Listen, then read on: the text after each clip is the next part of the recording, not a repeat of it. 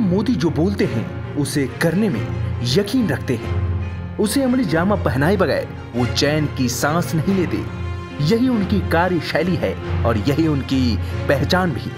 साथियों, कोई कितनी भी निराशा फैलाने की कोशिश करे, लेकिन मैं देश के युवाओं को आश्वस्त करता हूँ कि आने वाले वर्ष संभावनाओं से भरे हुए हैं।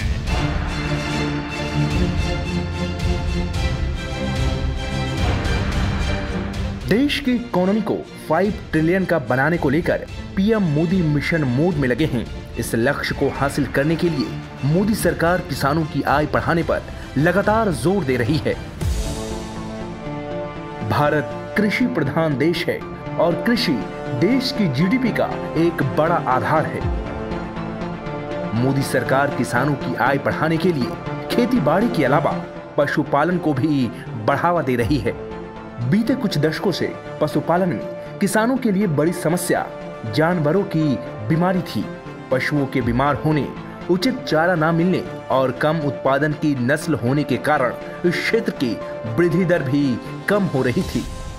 सरकार के आंकड़ों के अनुसार भारत में एक गाय साल में करीब 2000 किलो दूध देती है जबकि अमेरिका में 10,000 किलो इसराइल में 12,000 किलो भारत में भी प्रति गाय दूध उत्पादन बढ़ाने के लिए हाल ही में पीएम मोदी ने मथुरा में टीकाकरण कार्यक्रम का आगाज़ किया।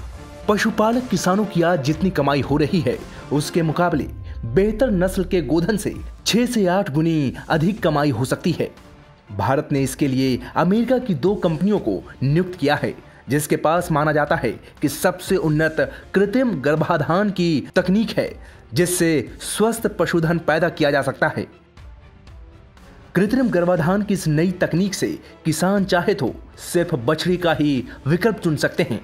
नीति आयोग को भी उम्मीद है कि पशुधन उत्पादन की गुणवत्ता और परिमाण में वृद्धि होने से देश की जीडीपी में ग्रामीण भारत का महत्वपूर्ण योगदान होगा। नीति आयोग के अनुसार पशुपालन और डेयरी से कृषि उत्पादन के मुकाबले किसान अपने मुनाफे को 10 गुना बढ़ा सकते हैं। मोदी सरकार पशुपालन में आ रही किसानों की बाधाओं को दूर करने के लिए और पशुपालक किसानों को फ़ायदा पहुँचाने के लिए तेरह हज़ार करोड़ रुपए की परियोजना को मंजूरी दे चुकी है। इसके अलावा पशुओं को हर साल 105 करोड़ टीके लगवाए जाएँगे, जिससे भारत के गोजातीय पशुधन को एफएमडी मुक्त किया जाएगा। इससे भारत के दूध और दुग्ध उत्पादों को दुनिया भर में लोग स्वीकार करेंगे।